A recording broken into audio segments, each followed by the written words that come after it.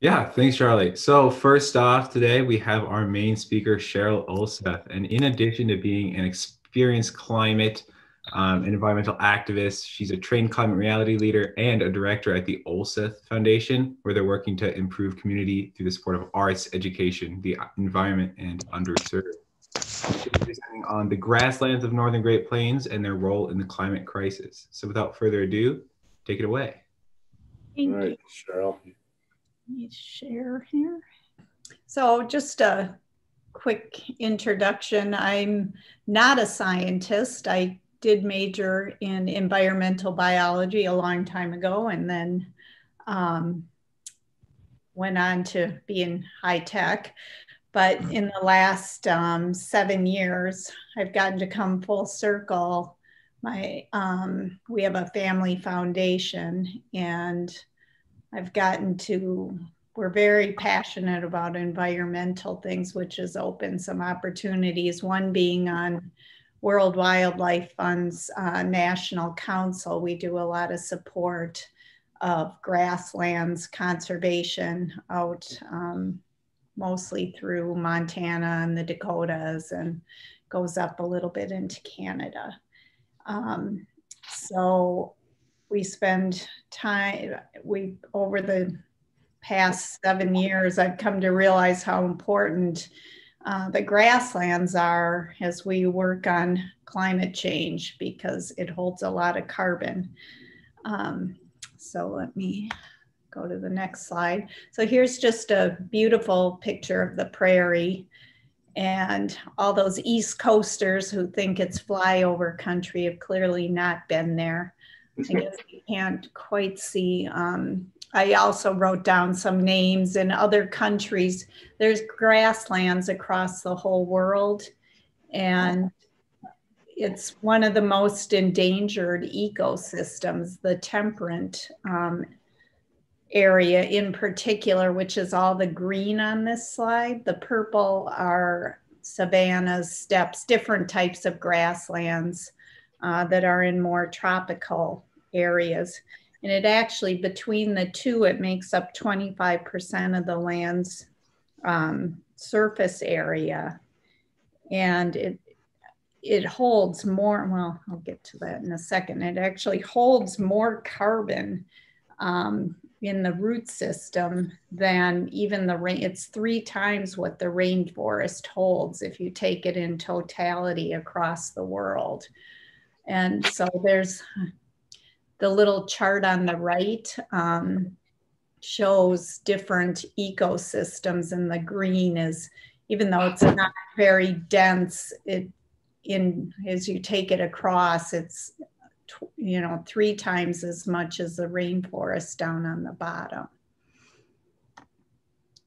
And why does it have? Why does it hold so much carbon? Well, if you look on the left of this root system, the the Kentucky bluegrass, which is our lawns, are over on the left, and that there isn't much root system, and that's why those little beetles, that you've seen people's lawns that have been decimated, doesn't take long for them to eat through those roots. But these other plants, uh, it goes down up to 20 feet deep, a lot of these roots. And there's 1,600 varieties of grasses, sedges, and wildflowers just in our northern Great Plains, um, which there isn't any other ecosystem in the um, North America that has such a variety of uh, plants. And it, it also, on the top, hosts a whole variety of important species that which I'm going to quickly go through some of the main um, species. First, we've got the bison, which of course you all know they were decimated, but they're quite amazing animals. Um, they can run as fast as a horse. They can easily jump over a six foot fence. They've evolved to uh, weather the climate extremes of the Great Plains from really cold winters to really hot summers. And they make it possible for other species. So, this bison on the left is creating a wallow, which is a deep depression in the grasslands that every time it rains, it fills with water. So it's a little water support for various mammals. It, they fill up with amphibians from frogs to toads and a whole variety of different plants. And so without the bison, those wa- wallows disappear and they're actually quite critical to um, the health of the landscape. Then there, there's the pronghorn, which are North America's fastest mammal. Um, they are the only one of oh, only a few species left in the lower 48 that actually do long distance migrations, with the exception of birds, obviously, but for mammals. And WWF has actually tracked them that sometimes they move 250 miles in any direction to escape harsh winters. They actually don't do very well when there's really deep snow. Probably 10 years ago, 90% of pronghorn were killed off in one winter.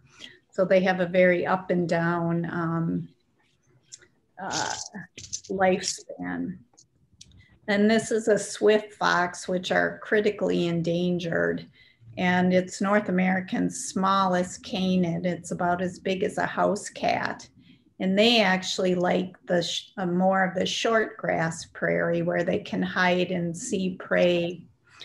Um, and they, uh, WWF is actually working on restoration and recovery of this uh, cute little fox. And of course, the prairie dogs are another important species um, who live in they live in a gr- in groups. They share food. They help each other avoid predators, and they groom one another. Um, and they're especially important to this little black-footed ferret, which is the most endangered mammal in North America. They w- thought they were extinct until they found um, a group of them on a ranch in Wyoming in the, I think, 1982. So that's me and my sister with a U.S. Fish and Wildlife um, biologist who spent his life trying to bring these this species back. And believe it or not, they have to be vaccinated against the plague. They only they're my main uh, protein source is um, prairie dogs. And on average, they need a thousand acres of prairie dog town to, for one ferret to survive. So they're they're having a rough go. There's maybe 400 in the wild. It hasn't gone up much in the 30 years that this biologist has worked on these um, little little guys. In fact, you may have seen there was some article they cloned a black-footed ferret recently, but I don't know that much about that. And then um, grassland birds. Um, I don't know how many of you are birders, but on the left is a sage grouse, and then the prairie chickens on the bottom and the top is a little Sprague's pipit, which is also quite um, endangered. And they're just teeny tiny, like one ounce. They are five inches, but they travel 3,000 miles in their migration. And this is just a quick slide. I'm sure many of you saw how many the birds have been decimated in the last 50 years and grassland birds are actually the most uh, endangered of all types of bird species in North America. And lastly, um, the grasslands are critical for bumblebees. There's uh, 20,000 different species of bumblebee across the world, and the grasslands have the most in um, the Americas and they're the only our bumblebees are the only ones who can raise their body temperatures by they move their wing muscles and it raises their temperature when it's cold.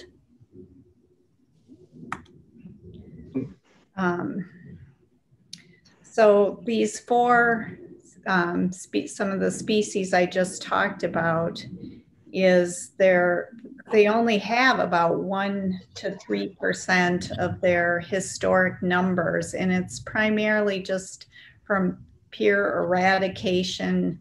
Prairie dogs are often poisoned um, by ranchers, um, over hunting, loss of habitat and development.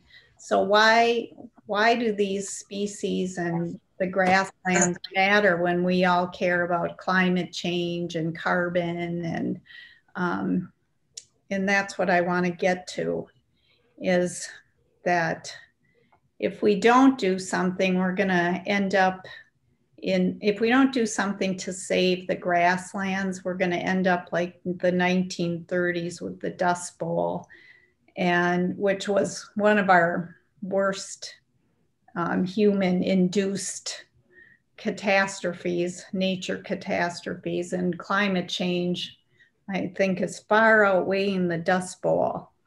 And the level of carbon that's uh, kept in the grasslands is just so immense that what we're doing is converting it over to row crops. And every time we convert, carbon goes up and we lose the sequestration ability of all that root system. And so, one of the things our foundation is working on with WWF is how do we reduce um, this conversion as crop price when crop prices go up of course more there's more till over so this is a map of what the current northern great plains is um, wwf developed a scientific method with satellites to look at conversion every year this was about four years ago and they determined we're losing a million acres a year out of 127 million acres. And you can see it goes all the way down into Mexico and way up into Canada. And actually, Canada had converted quite a bit. You can see with this brown. Um, and when the Canadian government just saw this first Plowprint report, they actually put in a lot of laws that they can't turn over um, this grassland anymore, and their conversion is slowed considerably. So you can see mostly what is being replaced with wheat, corn, and soy. And often the, the land that's converted is not very tillable for long term. It's the best land, like, you know, in Minnesota down here, was tilled over first and it remains the best, healthiest farmland. So it doesn't really make sense other than prices will drive this turnover. So there's different ways to sort of try to mitigate some of these climate issues. And the mo- number one is just avoiding this grassland conversion. And another way is putting in cover crops so that the it doesn't just blow away between plantings. And then there's just a variety of other, and like I said, I'm not a farmer and I'm so, um, you know, I understand windbreaks, but some of this, like the biochar, probably some of I don't know if Lee is on the call tonight. He probably can explain it better, but it's holding, it's a way of converting things into carbon down in the soil, a chemical reaction. So when you look at um, the grasslands, ownership right now, about 70% is privately held, and that's ranching. 10% is tribal, and then about 20% is government.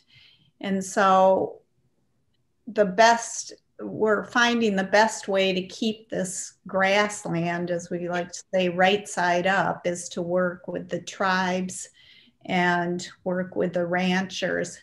And ranchers um, really have kept the land quite pollution free. There was a big study done on the Missouri River, and wherever there's ranching, there was very little water pollution um, versus as you get more into row crops and there's more fertilizer and and ranchers are really proud of their land and they want to keep it healthy and so they've been it's taken time but they're willing to work on community conservation and the tribes are the same and they're doing a lot with species restoration so basically all of this uh, way to save the grasslands is based on com- is community-based conservation. And one of the things WWF has learned over decades is that if you don't have buy-in from the people that live there, conservation just doesn't work. And it takes a long time, but it pays off. So on the grasslands, we're starting with this habitat loss, the decline in species, and there's also economic and social challenges, such as closing of schools, um, which is hard on ranching families if their kids have to be on a bus for, you know, an hour each way. Um, in a lot of these small towns, many of the services have closed. So, oh, I can't, hold on a second. Um, so we started with building um, rapport just by listening and engaging. And it's the same whether it's a tribe or a ranching community. And that allows you to develop the capacity to start making changes in how um, how they do their ranching techniques. Oh, my slide is stuck. Oh, there we go. Um, and then we've put together some plans um, and then galvanize networks to make it more scalable. Because as you could see on those earlier maps, this is a huge amount of area to keep intact. And once you have all these things, you have healthy grasslands and thriving wildlife and happy people. So just two quick examples. Um, the there's 15 tribes that live through the Great um, Plains, and it's millions and millions of acres. And the nice thing is, it's there. Each of these reservations has, you know, it's intact. Like especially this is a lot of acreage here. Um, so they all came together and made a treaty that they want to restore some of this grassland and species and bring back um, the buffalo. And that's what we now have five herds, um, and a new one just went in down here uh, of a thousand bison or more. They need at least a thousand to be genetically pure you'd think there's a lot of bison, but most of them have been um, bred with cattle, so they're not the genetically pure bison. But now there's probably 20,000 throughout the country that um, have those original genes. Um, and then we've been working with different ranching communities to bring back cropland. This doesn't sound like much, eight thousand acres, but this is cropland that shouldn't have ever been tilled, and these ranchers now want to bring it back. And so corporations, McDonald's, um, Cargill, Walmart, actually the Airwick, the owner of Lysol, they're all donating money to pay for seed to bring the grasslands back. It's incredibly expensive to reseed once it's been tilled over.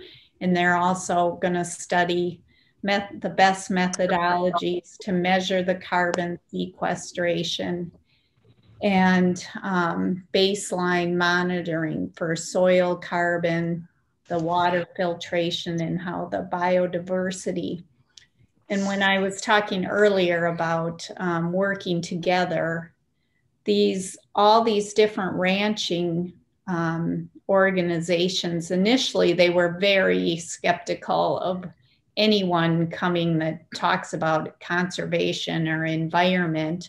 But over actually 12 years we have really strong alliances. Um, many of these ranchers host us. They have learned new techniques on moving their cattle around to keep the grasslands healthy, just like when basically the bison, the cattle have replaced the bison. And I just want to add, it's another complicated, you know, people say, oh, we shouldn't be eating meat, but we do need ranchers to keep the um, grasslands intact, which is all part of the climate um, story. So, like anything, it's more complicated than just um, saying don't ever eat meat again. Um, there's certainly sustainable beef, and we've met with ranchers. They they lose sleep over, as they call it, fake meat, the impossible burgers and things. But um, it's a complicated issue. And then we just need to keep advocating Congress to make sure they protect this grasslands. Um, they've actually, there's declarations to save other parts of the world, like the rainforest, and um, we're fighting to have a declaration to save our prairies. And we've got support from companies, ranchers, tribes, academics, and um, many NGOs. Nature Conservancy is doing a lot. So that's um, my short short talk on um, saving the grasslands. Now I just I'll stop. Hey Cheryl, quest, question for you. Um, grazing animals like uh, you know wild animals like bison and, and grazing cattle aren't they critical too to the general health of the grasslands? You just they, the grasslands need those grazing animals, do they not? Absolutely, and we're never going to have 60 million bison again, but cattle when they're if you take cattle and you move them around they can function in a very similar manner as a bison other than they don't do they don't wallow and things like that but um, but they're working hard on bringing back enough bison. I've been out on one of the reservations and we were look I mean, it was like being in dances with wolves, that movie looking down on this massive herd of bison that this particular tribe hadn't had bison for 130 years. Most of their kids had never even seen a buffalo. And um, one of the there was a group of elderly women who were trying to bring bison back and one of them just said now we can start healing. They're so integrated to their culture. She said she felt that this is how they start healing issues with you know having lost their aboriginal land and um, it was really quite moving but yeah, you do need all these species, and birds are, it's quite frightening how the bird populations are just decimated on the grasslands.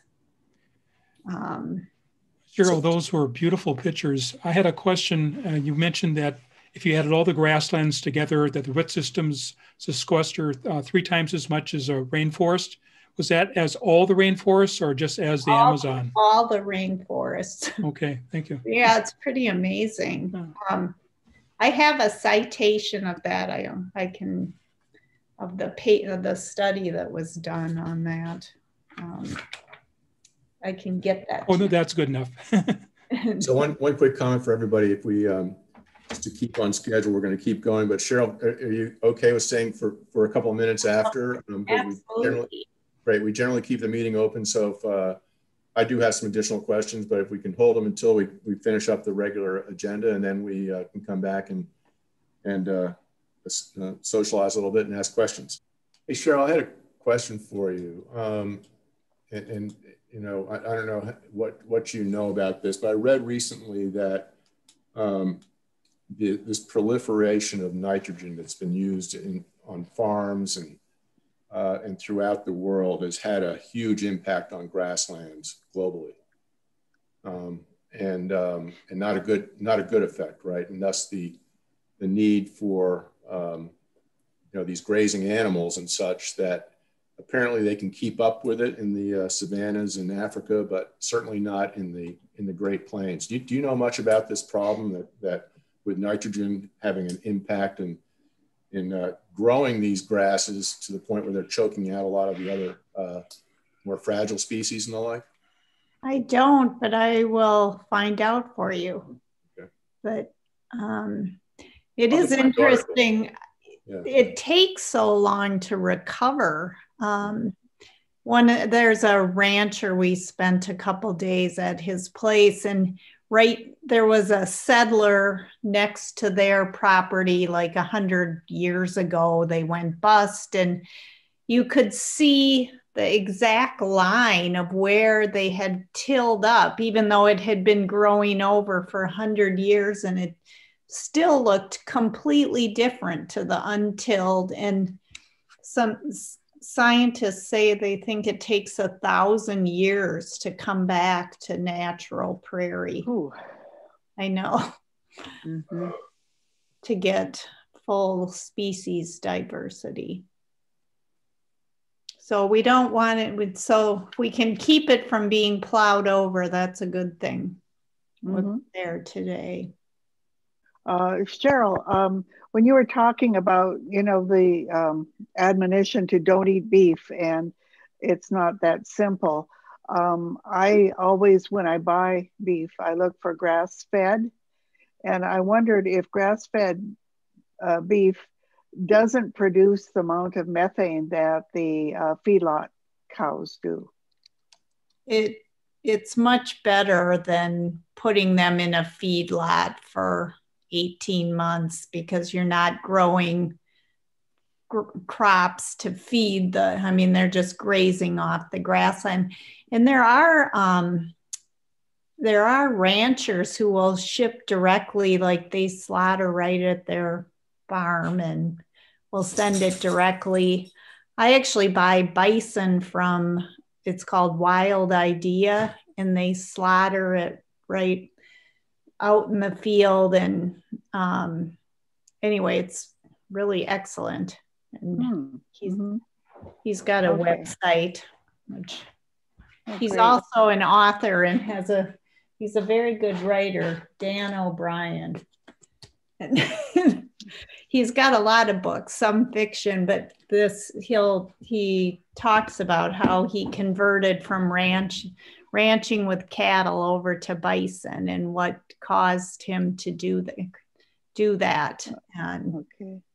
anyway, he's okay. Thank you. A question for Cheryl. Uh, you talked about the Dust Bowl. You know, as climate changes and as more uh, grassland is cultivated, unfortunately, uh, what is the chance of another Dust Bowl? What are you hearing? Actually, it's quite good. I mean, they're finding that there was just a study that came out, I think, from NASA satellites that the top layer is just blowing away again. Mm-hmm. That they're most of the um, they're losing. So I don't know if we'd end up like those pictures from the Dust Bowl, but I think it's pot feasible if they plow up enough of it. When you think of 170 million acres, mm-hmm. um, and a lot of it isn't that, you know, really healthy, or it's a different kind of soil. I shouldn't say healthy versus not healthy. It's just we think of that black dirt here that. Um, it's more it's dry more arid. I mean a grassland is probably gets less than 8 20 inches of rain a year. I think a mm. desert is 10 or less inches. Lee yeah, do you know anything about that? Nice to see you by the way. Yeah, um, yeah if you plow up a huge area not only do you remove the vegetation, but you change the color so that it absorbs more solar radiation, mm-hmm. which probably played a big role in the in the dust bowl. And then after all the black topsoil blew away, it wasn't as dark, and then the whole thing came to an end. Um, but um, yeah, it was interesting that the whole world didn't warm up at that time. Though It was actually a cold period, um, slightly cold in the history of the Earth. Um, and um, winters were really cold during that time too. But it, it, all had to do with that color being that dark color being exposed during the summer, making it really hot and removing a lot of vegetation all at once. So in, in Sherburne County, um, I found a clipping from the early 40s of uh, in Big Lake Township where they had to get the snowplow out to plow the sand off the road in July mm-hmm. because of wind. Mm. And there are Christmas tree farms up in Sherburne County, and that all comes out of um, that the 1930s because they found that the pine trees would grow. Um, and Sand Dune State Forest was planted because you know to keep it from blowing away, to keep the ground from blowing away we had in the in the Sherburne History Center. There's a huge a huge photograph of um, two guys riding in a tree plant, planter, just planting the um, whatever kind of pine it was that they planted. They planted something like six million trees in 20 years. If you've ever tried to dig up the prairie, I mean, it is it's amazing to me how quickly they actually dug all that land, land up. I mean, the root systems are just so deep and thick. And I mean, to think probably most of them did it kind of by hand over. Mm-hmm. Just unbelievable. Well, didn't those pioneers build sod houses out of the, you know, cutting it out in blocks and building their houses out of it as part of it? This is this is from my childhood. Little house my on the prairie. lived in a sod house when she was young. Um, yeah. Hey, Cheryl. Cheryl. Thank. Oh, go ahead, Greg. So, um, thank you, Cheryl. Thank you for your presentation. It's it was fascinating and interesting. I love the the, the slides, and I'm really happy to learn about your organization and your connection with the World Wildlife Fund. Uh, I was involved in uh, grassland uh, research for a, a, few years in southwestern Wisconsin. And as I think many of you know that in Minnesota and the Upper Great Lake or the Midwest here, our grazing lands um, they're generally divided between more conventional grazing, which is kind of what many of the ranchers do, but they have you know west or in the Great Plains, but they have a lot larger acreage, of course, to allow the cattle to to roam. But the rotational and the paddock system is much more common to apply here as a conservation practice to integrate the, the, the organic matter back into the soil structure. And I, fo- it's, I found that there was quite a variety or a varying amount of organic matter that um, would accumulate across these different types of paddocks in southwestern Wisconsin, and very much dependent on the density of the cows, of course, but also the, the species of the cow, uh, I should say, the, the, the breed of the cow. Uh, Gur, uh, Guernsey um, or Jerseys versus Holsteins, etc. What did did you see any patterns, or do you know of any patterns on the type of stock that are being used in the ranch lands? And you know, like white-faced Herefords, for example, versus black uh, Angus or some other breed that um, are performing better for minimizing their impact on some of the grasslands? I think it's less on what the cattle is, and more how often they move them around. They have the little, they set up the temporary fencing and they move, some move them every, you know, five to 10 days. Mm-hmm. And, um, and they even, a lot of these um, ranchers now will put their cattle. So when like the grouse are lekking, they make sure they're far away from um, the lekking sites and they open their rancher ranches for uh, birders. It's another income mm-hmm. stream, but it seems to be less. I mean, they haven't less on the cattle, what type of cattle, and more how they move them around. Uh, so sure. they really want to. There's many ranchers who are very conservation minded. Mm-hmm. Cheryl, kind of along that line, did you talk with people who also are integrating sheep and maybe even goats, but especially sheep in this area in with the?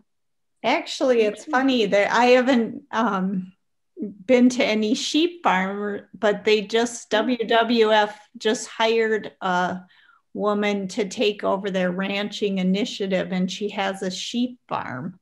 And I just met her virtually on Zoom, and she was going to go be a diplomat. She had gone mm. into the foreign service and suddenly realized she didn't want to leave eastern Montana, and she took over her parents' ranch, which is a sheep ranch. That's something to look into. Learn more about it yeah. in the coming months. There's yeah. a place called Bare Ranch in um, in northeastern California and into Nevada that's doing some really interesting work, and they've already done some testing of sequestration and so on. So um, I think it could be very interesting because sheep and cattle, the hooves are different, the way they you know the impact on the soil and all kinds of things is very different mm-hmm. so anyway yeah. just uh, just an interesting thought one thing I know reminds me reminds me of the um, the cowboy movies of the 50s where the the sheep herders and the ranchers would get in these big wars yeah. I had a question for Lee. Back when you gave your presentation on the effect of uh, climate change on the forests, and you're talking about in the worst case or in a bad scenario, high carbon scenario, or lose, I think, the conifers. How soon could that affect, like around uh, the, the, tall trees around uh, Itasca State Park? Um, the, the effects there would come pretty early because they're pretty close to the prairie forest border there. Okay. Um, and actually, a lot of trees are showing disease problems already because they're out of whack with the climate. So conceivably, I mean, if, if things don't change, we could lose the big trees uh, by the end of the century then or not? Or? Oh, before the end of the century for sure. If we're on the business as usual scenario, I would say by 2070, we would look like Kansas. I think that'd be a really good uh, uh, icon to, to use like the polar bear. You know, we don't want to lose these uh, these trees. So. Yep, and we would be able to resequester all that carbon in the soil in the new grasslands that would be established but that's going to take several centuries. And in the meantime, all the CO2 from all the trees that die goes into the atmosphere. So it's a it's a timing problem. You can't re- resequester it very fast. Um, you you can get it out really quick, but you can't put it back very fast.